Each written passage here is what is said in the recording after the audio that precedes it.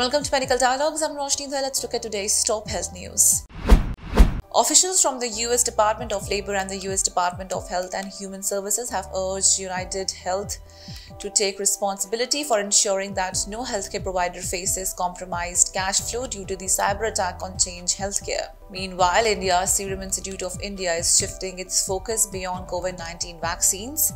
The CEO of Serum Institute, the world's largest vaccine manufacturer, stated that the company has enhanced its manufacturing capabilities to prepare for the launch of vaccines against diseases such as malaria and dengue in the coming years. By repurposing facilities previously dedicated to COVID 19 immunization, Serum Institute aims to increase its production capacity for these newer vaccines, estimating an additional 2.5 billion doses. The CEO Adar Poonawalla emphasized this strategic shift in a recent interview.